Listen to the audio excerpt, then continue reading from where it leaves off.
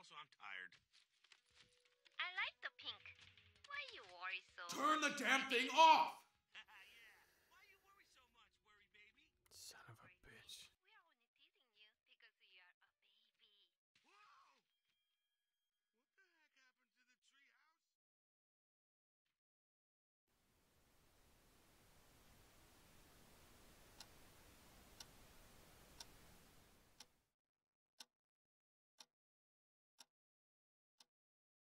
Dave? Mm. Dave, wake up. Do you want anything to eat? What? No, I, I'm fine, Ma. What happened to your wrist? It's nothing. I just bumped into the wall. Mom, if Vince is. Dave, you know that I'm so much happier now because I met Vince. He might be rough sometimes, but he's a good man. Really.